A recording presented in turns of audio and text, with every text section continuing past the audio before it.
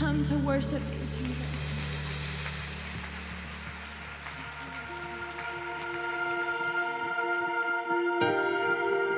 We've come to worship you, Jesus.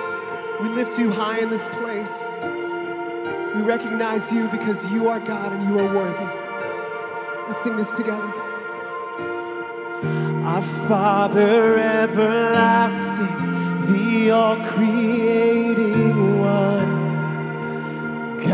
God Almighty. through your Holy Spirit, conceiving Christ the Son, Jesus our Savior. I believe in God our Father, I believe in Christ the Son, I believe in the Holy Spirit. Our God is three in one.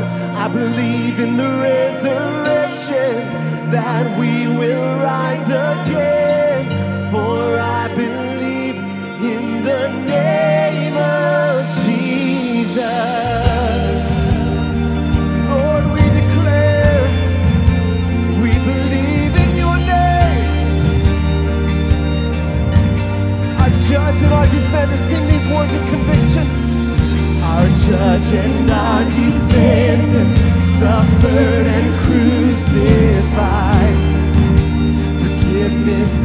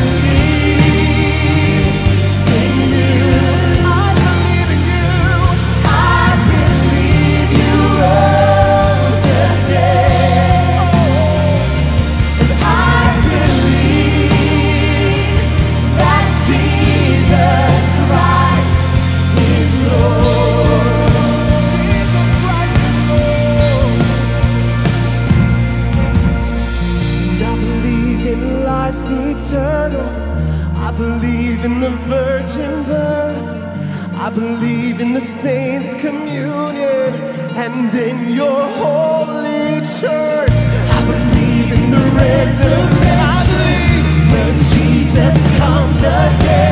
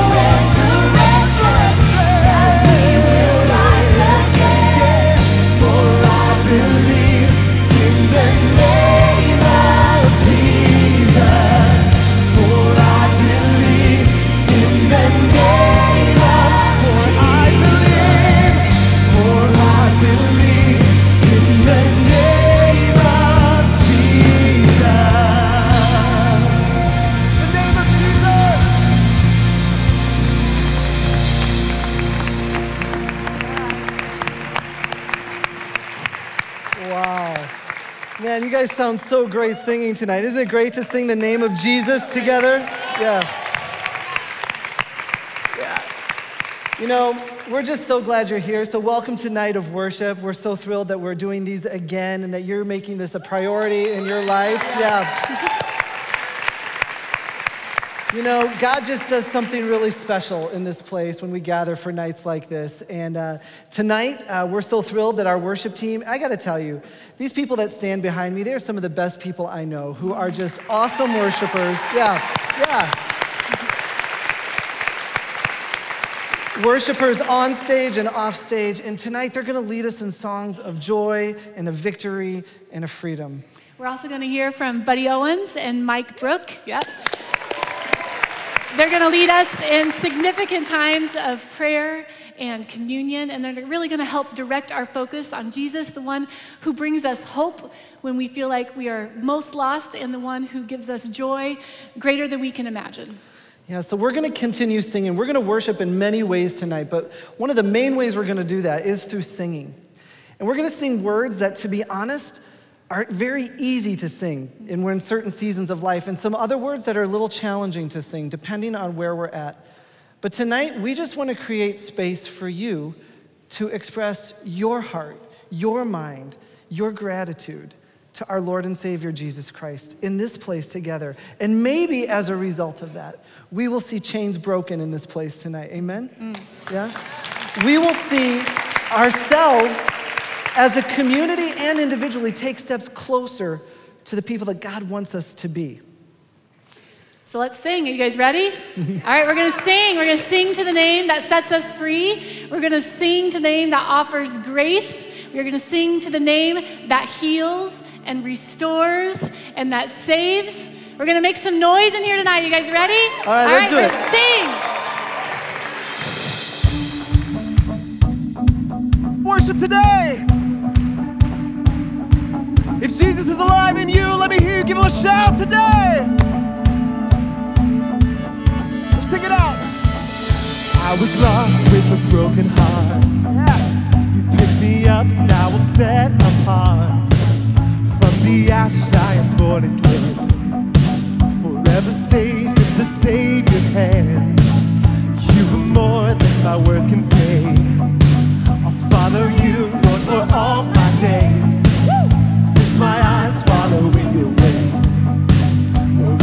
Free in unending grace. You are, you are, you are, you are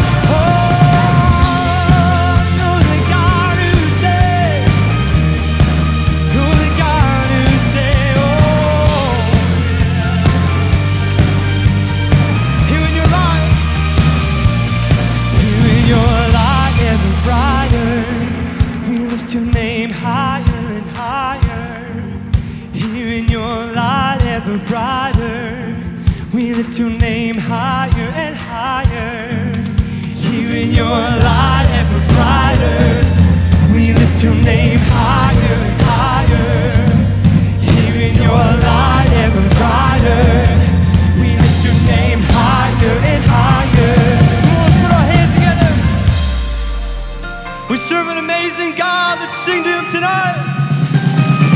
Hey! You're the God who saves.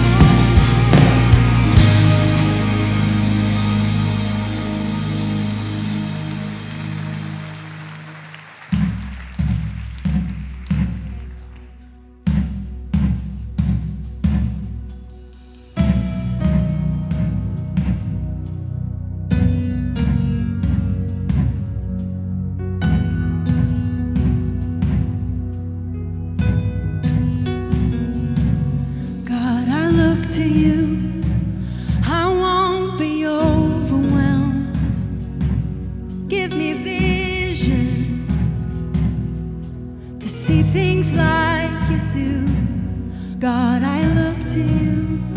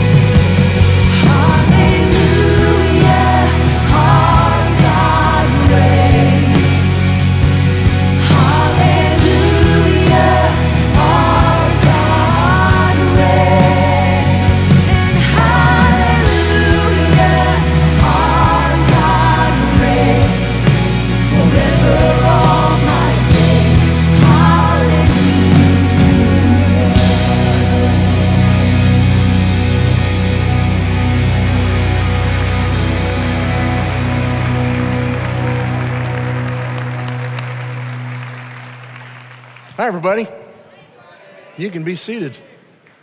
Isn't it great to be together? And you know, the Lord is here. The Lord is here. The Lord is always present when his people gather to worship him. He promises that in the word. I mean, Jesus even said, when, if just two or three of you will get together, I'll come and be with you. And as I look out here on this crowd of people, there's a whole lot of two and threes. So he's here in our midst, and when the Lord is present, he always comes bearing gifts.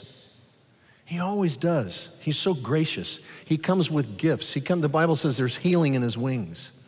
And I'm, I'm believing, we were praying before we started tonight, and I'm, I'm really believing the Lord to move in this place among us.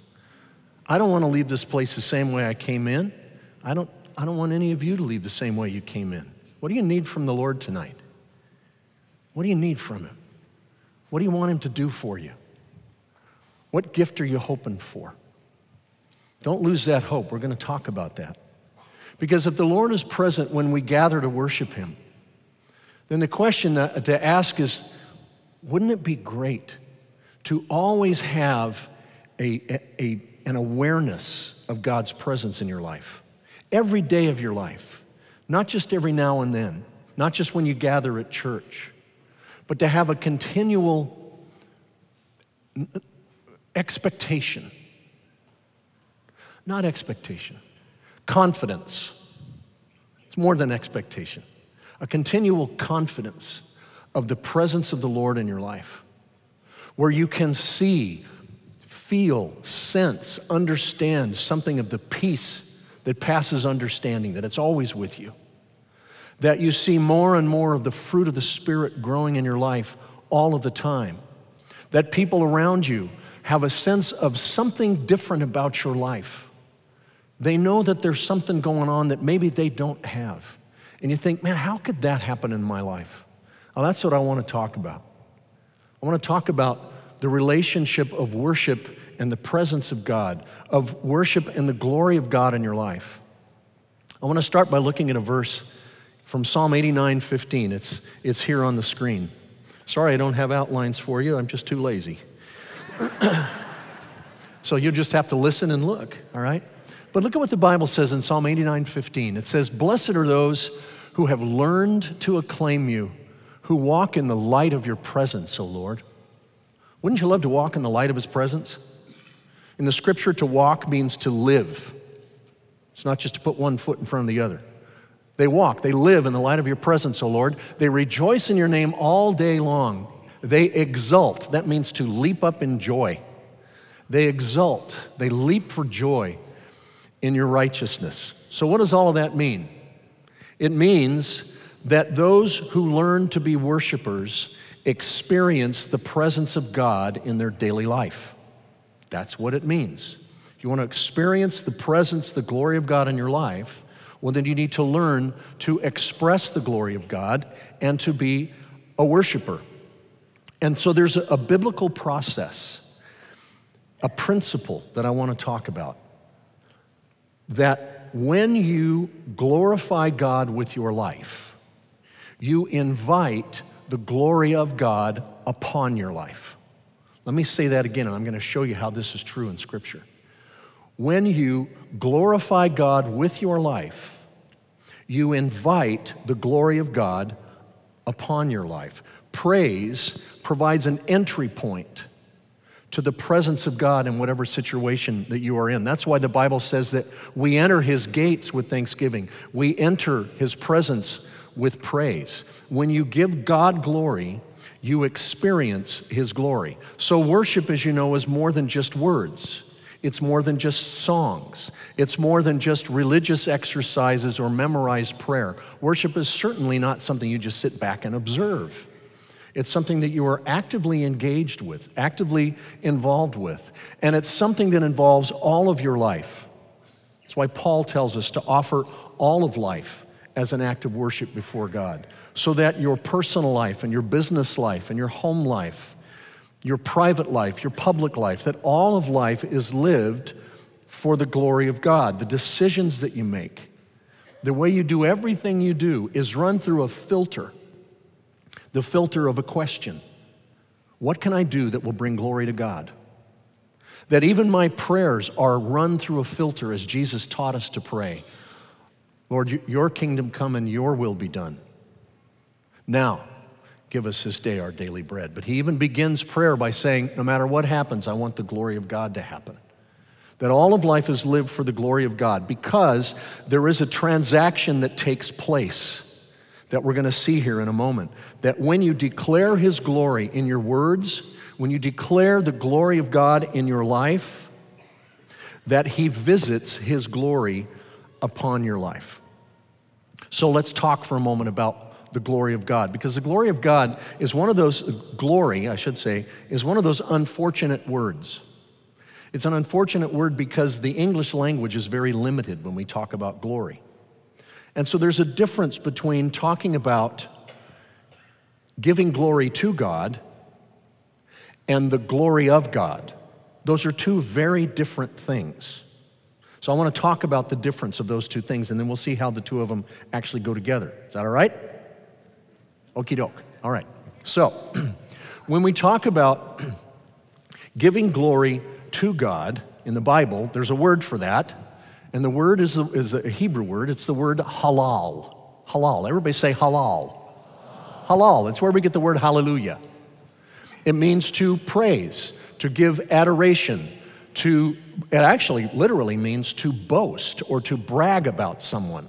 So when you are praising God with your words, you're bragging about him. You're giving him his attaboys. You're telling him he's awesome. You're telling other people that he's awesome. That's what halal is. That's what it means to give glory to God. It's halal. It's to praise, to admire, to adore, to worship God. But the glory of God is an entirely different word. When, when we think of the glory of God, when you read it in Scripture, where it says, the glory of the Lord filled the temple, or the glory of the Lord shone round about them, we generally tend to think of the glory of God as something having to do with light, like a blinding light, like the light that, that, uh, that blinded uh, Paul when he was on the road to Damascus. We think of something that is so, so bright and shimmering that we can hardly even look at it. That's how we normally tend to think about the glory of God. but in the Bible, the glory of God has much more to do with substance than with light. The word for the glory of God in the Old Testament is the word kabod. Kabod. Everybody say kabod. Okay, now say halal. Say kabod. Two different words, right? The word kabod has less to do with light than it has to do with substance, with presence, with essence, with power, with force. That's what the glory of God is. It's the, the forceful, magnificent presence of His being. That's the glory of God. To say it's only light would be sort of like talking about the sun as if the sun were nothing more than light. The light of the sun makes us aware of the sun, the light of the sun makes us aware of its presence, but the sun is much more than just light. In the same way, the glory of God, the, the light of the glory of God, may make us aware of His presence, but His presence is much, much more. His glory is much, much more than just light. There is a substance to the presence, to the, to the glory of God. And most often in Scripture, when God revealed His glory to His people, he did it in the place of worship. Now, this is where application starts to come in.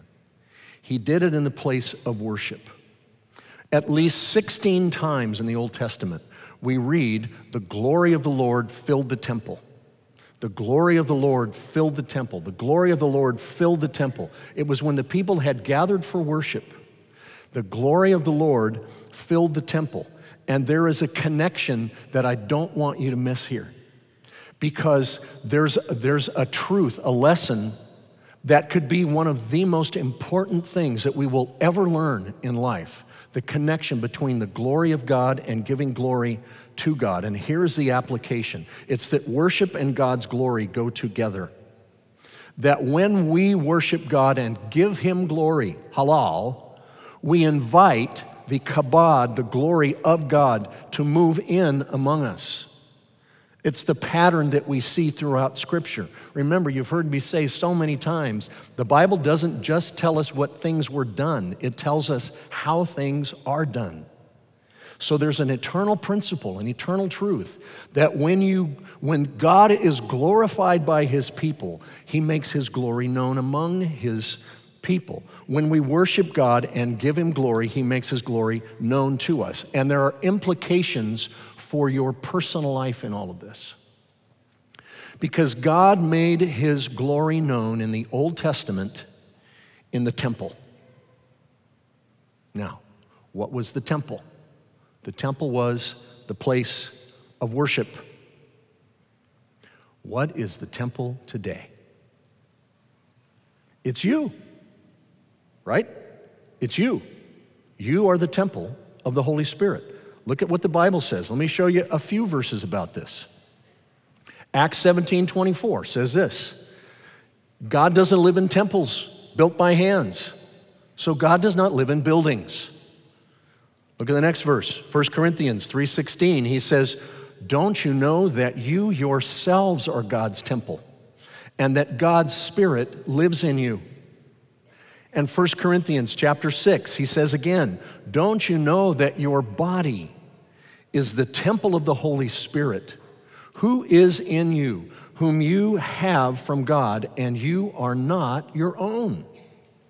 You're not your own. He says, for you were bought at a price. Therefore, glorify God in your body and in your spirit, which are God's. Your body is the temple of the Holy Spirit. The temple is the place of worship. And it is in the place of worship that God dwells. It is in the place of worship where God, most often in the Old Testament, in the scriptures, makes his presence, his glory known. Under the old covenant, when the people gave glory to God in the temple, God filled the temple with his glory. Under the new covenant, when you fill this temple, the temple of your flesh, when you fill this temple with worship, you invite, you make a way, you open the door and pave the way for the glory of God to invade your life with his presence and his power. And when the Lord is present, He comes with healing, He comes with grace, He comes with order, with wisdom, with provision. It's when you worship the Lord, when you give Him glory, there is a distinct show of His presence and power that is available in your life. When we worship our glorious God, He makes His glory known among us. And that is not only true in corporate worship, it is true in your personal life. That when you glorify God in your life, how you live, how you speak, how you make your choices, the filter I talked about a moment ago, that everything you do is, everything you see, every choice you make is run through a filter. Will this bring glory to God? that when you glorify God with your life, you invite the glory of God upon your life. When you, invite, when you glorify God in your home, you invite the glory of God upon your home. When you glorify God in your business, you invite the glory of God upon your business. When you glorify God in your relationships, by living out and experiencing relationships for His glory, then you invite the glory of God into those relationships. It's a transaction. And the Bible shows us over and over and over that those who learn to acclaim you, as we read in Psalm 89 a moment ago, those who learn to be worshipers, they're the ones who walk, who live, who move in the light of God's presence, experiencing all of life in the glory of God. Is that something you want to experience in your life? where it's not just every now and then, it's not just seasonal, but it's a continual experience of the presence of God. You do want that, absolutely. And so do I. It's about time somebody said something in this room. I want it in my life. So we're going to worship the Lord again. We're going to sing a song that I asked the worship team to teach to us.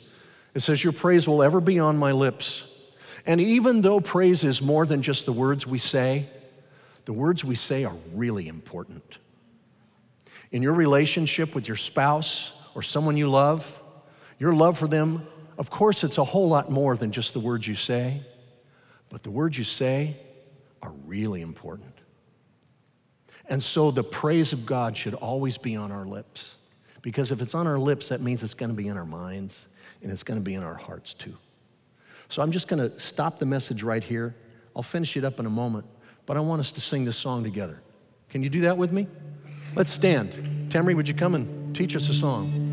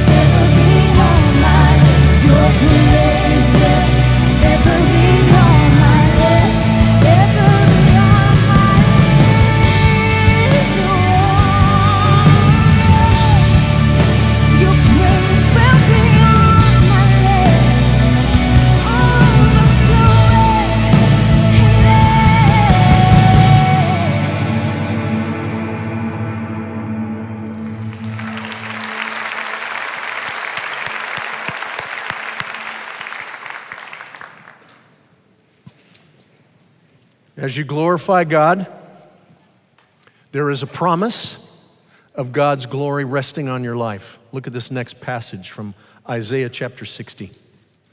It says, Arise and shine, for your light has come, and the glory of the Lord is risen upon you. For behold, the darkness shall cover the earth, and deep darkness shall cover the people, but the Lord will arise over you, and his glory will be seen upon you.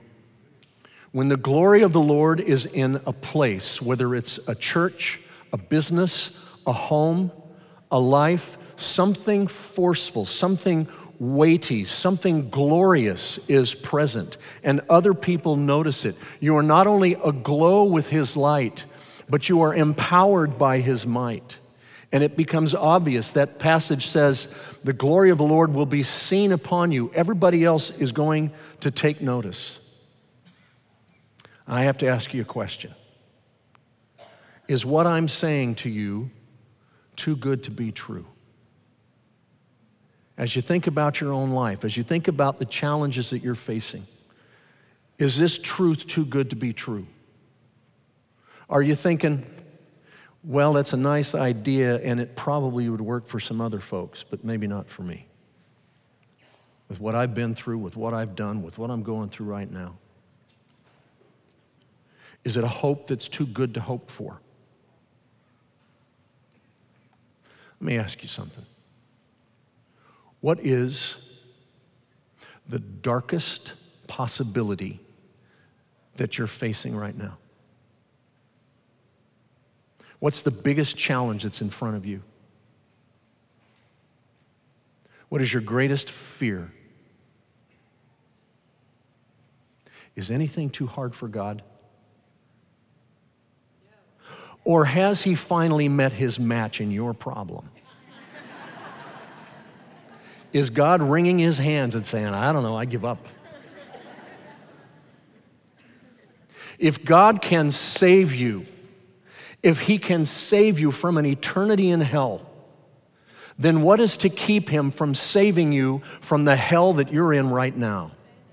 If God can give you a new life, then what is to keep him from giving you a new home, a new life, a new world, a new possibility, a new vision? What is to keep him from doing that? When you declare the glory of God with your words, with your actions, with the way you live, you invite the presence and power, the glory of God into your life and into the situation. Whatever you face, whatever challenge you are up against, whatever you are afraid of, worship the Lord. Praise His name. Brag about His greatness to everybody you know. Declare the glory of God and then watch.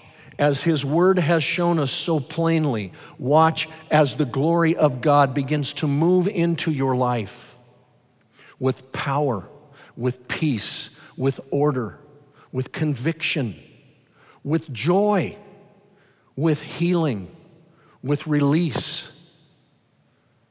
When we worship the glory of God, we invite the glory of God upon our lives. That's why worship is so important for you. That's why God wants us to be worshiping people. It's not because He needs His attaboys, it's because He understands this truth that when you worship God, you are surrendering yourself to His sovereignty and His power in your life. And God wants nothing more than His sovereignty and power to move through you and into you and to the world around you. And that's why He wants us to be worshiping people. And when the Lord is present, everybody else is going to sit up and take notice. They will see a difference in your life. When I was a kid, my parents bought a house from some people who were not worshipers of Jesus. They were worshipers of a whole lot of other things that you don't want to be worshiping. My parents loved the Lord. Our whole family did. A lot of our friends did. And so we turned our house into a place of worship. About a month later, the daughter, an adult daughter, of the people who had owned the home. The girl had grown up in that home. She came to visit us. And she walked in the door, made a left turn to walk into the kitchen, and stopped dead in her tracks. And she said, It's gone. My mom said, What's gone? She said, The heaviness, the darkness. What did you do? It's gone. When you turn your life into a place of worship, this temple of flesh, you fill it with the glory of God. Other people are going to sit up and take notice. That doesn't mean that everything is hunky dory. What it does mean is it gives a little hunky to your dory. You know what I'm saying? It puts joy in your heart. I got to write that down. I never thought of that before. Put some hunky in your dory.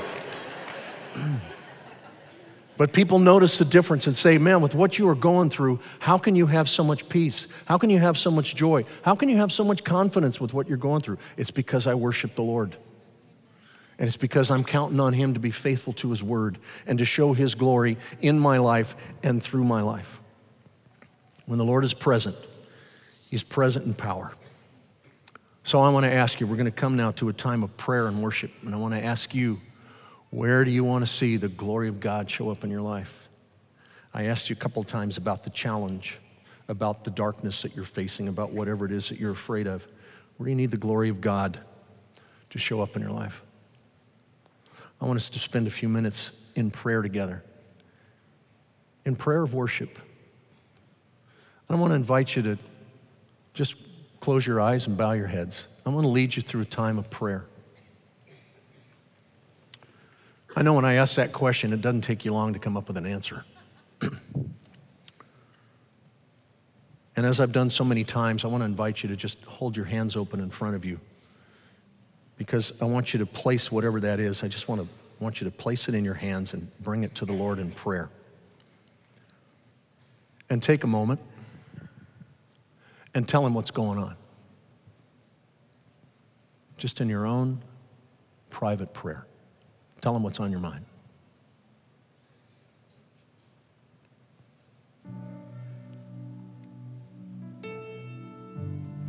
Just unburden yourself to Him.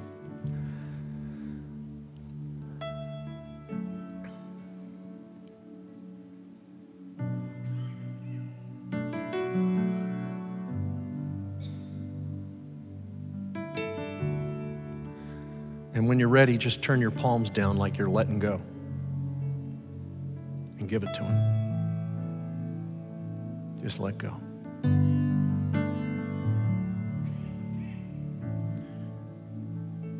And you can pray this way in your heart. Just say, Lord, I, I glorify you. I praise you. I halal you as my king. Let your kingdom come. I praise you as my master. Let your will be done. I praise you as my provider. Lord, you know I need daily bread today. Lord, I praise you as my Savior. Would you forgive me of my sins? Lord, I praise you as my healer. Would you heal my broken body? Lord, I praise you as my deliverer. Would you set me free from my fear? And I worship you, Lord. I give you the praise of my life as my God, as my Father, as my friend, as my counselor, the captain of my salvation, the Savior of my soul. I worship you, Lord, and I pray that all of my life will be lived for your glory whatever comes of my life, that no one could ever say that the glory of God was not there. Lord, let all of life, all of me, be an expression of praise to you. Help me to learn to be a worshiper so that I too can walk in the light of your presence. And as we continue in this moment of prayer, I want to ask if you would like us to pray for you, I'm not going to ask you to say anything at all. But if there's something going on and you just you want to be prayed for by the church, I'm just inviting you to stand right where you are. Don't be afraid. This is a family. You're not going to have to tell us what it is. Just stand. If you want the church to pray for you, because I'm going to lead us all in prayer in a moment for all of you. Whatever's going on,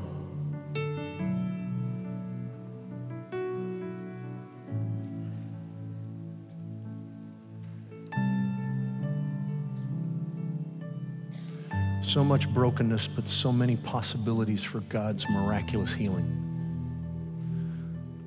I want to ask the rest of you you know if somebody stood up next to you, just stand next to them, put your hand on their shoulder, take them by the hand, and I want to lead us in prayer. It's good for the body of Christ to touch the body of Christ. Go ahead and let me pray. Father, you've shown us in your word that when we glorify you, that you reveal your glory to us. And we hold you to your word tonight.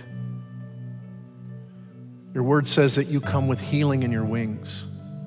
And so, Lord, we pray for healing here tonight. That you will heal broken bodies, sick bodies. That you will heal broken hearts, those who mourn and grieve. Lord, bring healing and comfort. We pray that you will heal broken minds, deliver people from confusion, from doubt, from fear, from mental illnesses. Come as a healer tonight. Lord, come as a provider where there is great need. Would you move into these situations and bring miracles? where there are broken relationships, would you come as a reconciler and heal broken homes, broken marriages, broken love? And be a healer, Lord. You see the needs of your people. And we look to you. And we trust you. And we thank you. And we worship you as our God and our King. Lord, for every need that is in this place, you are the answer. And so we pray that you will come and answer and move among us and touch people's lives here in this place. We ask this in Jesus' name and for the glory of God. Amen. You can be seated. God wants to shine His glory on your life, on your home, and every day He wants to do it and the way he does that is if you will just choose to glorify him and to offer him your worship, to thank him even before you have the answer to your prayer. That's what worship really is. Anybody can praise God when they got money in their pockets. But worship is when you praise God when you don't have two dimes to rub together. Anybody can praise God when they're healthy and happy, but worship is when you choose to praise God even though your body is broken and you're scared to death. It's a choice that we make to glorify God and to invite His glory into our lives. And when He does, then we can watch and see how He begins to transform us day by day, moment by moment, into the image of Christ. We begin to see more of the fruit of the Spirit in our lives. You say, Where's this fruit of the Spirit? I thought it was all supposed to be so great. Well, when you worship the Lord, you make yourself available to the fruit of the Spirit. You begin to see more love, more joy, more peace, and patience. Anybody here need patience? Anybody here got kids? Worship the Lord. You begin to see more kindness and gentleness in your life.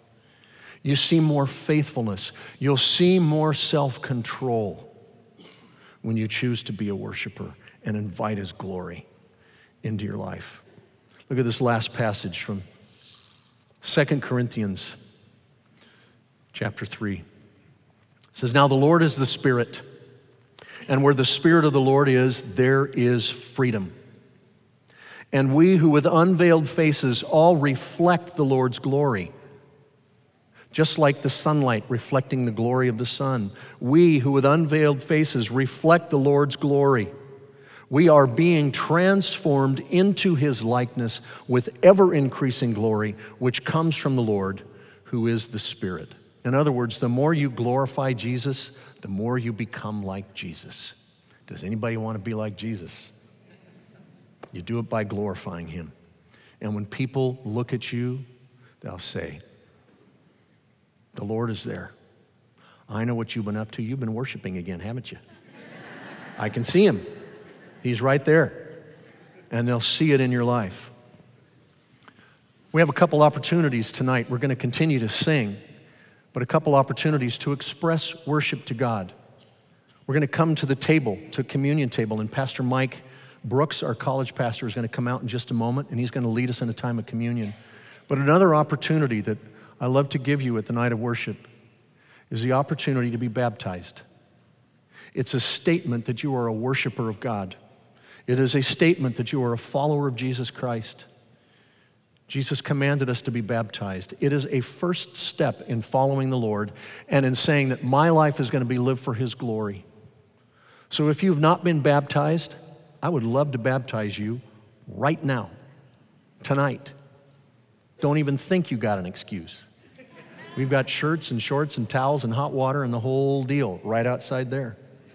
So, in a few minutes, when we begin to sing again, when we start coming to the communion tables, just come outside if you want to be baptized, and I will baptize you tonight. But I also want to encourage all of us. When you come for communion and we're worshiping as the worship team is leading us, sing. Let them hear your voice. As you come in the lines, don't just start chatting about what's going on tomorrow. Add your voice to the song. And after you've received communion, stick around. Don't just head out to the parking lot. It's not that big a crowd. The night is young. Just stay here and let's complete our corporate offering of worship to God together, all right? So, Mike, would you come and lead us into a time of communion?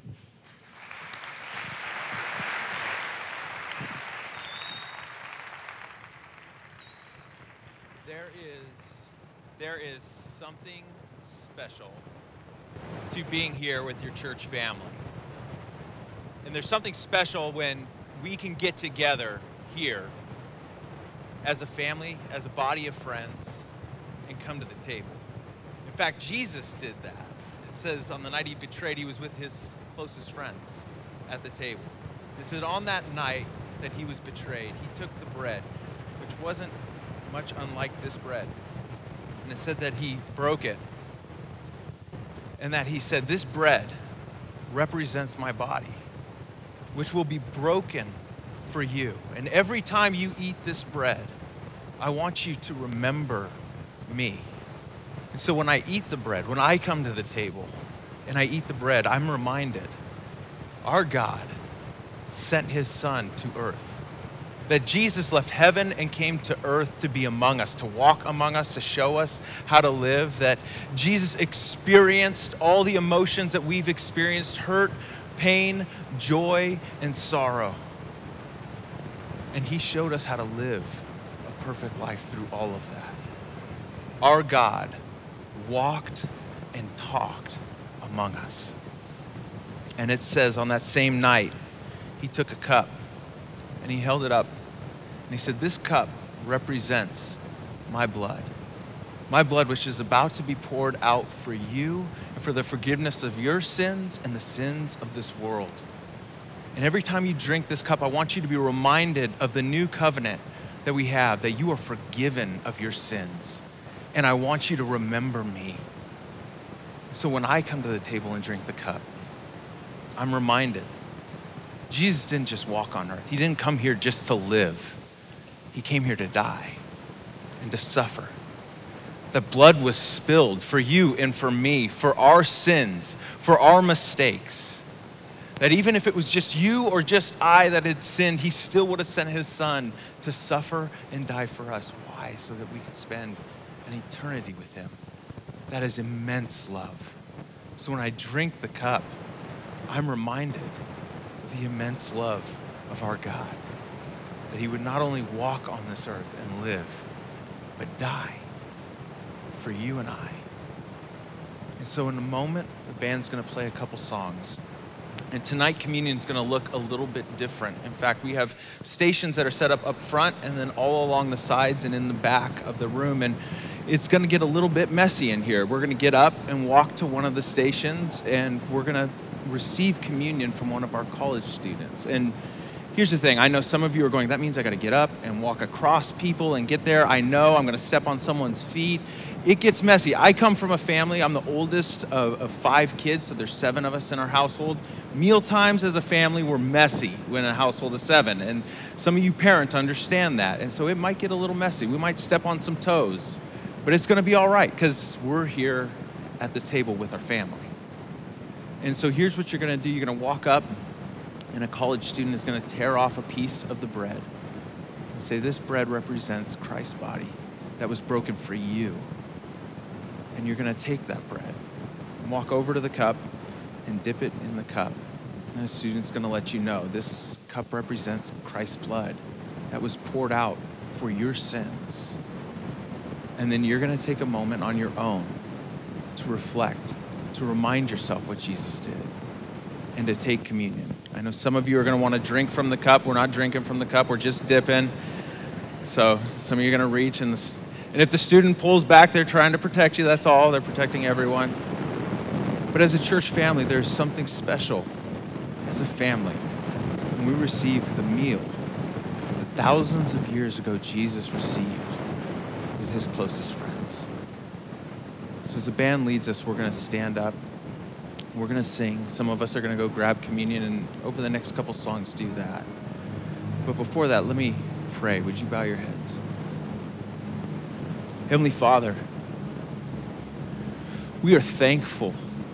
I am thankful for the, your body, for you coming and living on earth, that you would send your son, that he would humble himself to the point of being in a human body and walking among us. God, that he would live among us and love and show us joy and patience and peace and hurt. God, I, I thank you for the blood that was spilled. And God, it's it feels selfish sometimes to thank you for the blood that was spilled, but God, I am I'm grateful. We are grateful for the blood that was spilled because it is only through this covenant that we could come to have right relationship with you. So Father, tonight as we come to your table, may we be reminded of the great sacrifice Jesus made for us as individuals but also for the world. Father, thank you for the sacrifice that you were willing to make for us. In Jesus' name, amen. You can take communion at your leisure.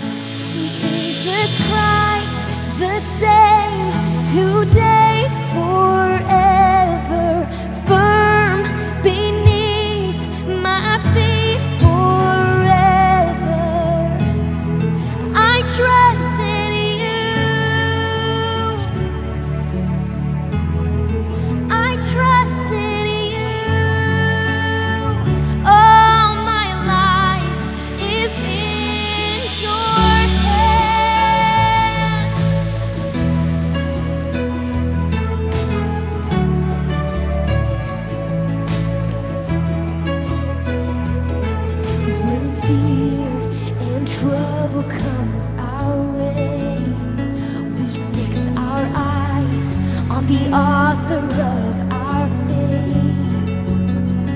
Your word and promises sustain. You are with us. Jesus Christ, the same today, for.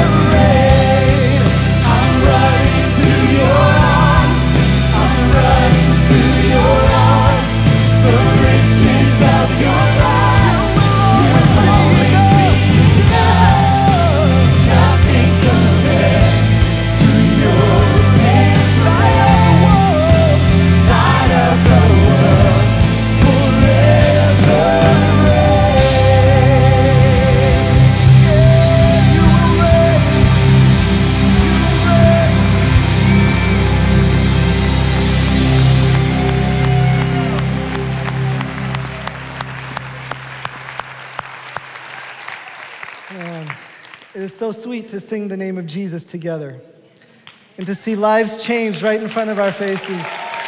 Yeah. Church, we love you so much, and we can't think of anything sweeter than to shout the name of Jesus together on a Thursday night. And a couple things, couple things for you. It's okay to sing like that on the weekend, okay? All right? So we're counting on you to do that on the weekend. Uh, you know, we've had such a sweet time of sharing time around the Lord's table, hearing God's word so boldly proclaimed. We've sung the name of Jesus. We've, we've, we've been in community with one another. One of the ways we love to give back to God is by giving back to Him. You guys know your, your church family. If you want to give financially, those offering boxes are on your way out. Uh, you can find those. Guys, we're going to be doing another one of these in a few more months. We can't wait to see you at that. Yeah. Yeah. We do it so we can lift up one and only name, and that's the name of Jesus. So we'll keep doing that as long as you want to do that. So we're going to sing one more song while you're leaving, or you can stick around and sing it with us because we worship a rescuer who came to our rescue. So let's sing this on the way out. We'll see you on the weekend. Can't wait to see you this weekend, everybody. Love you guys.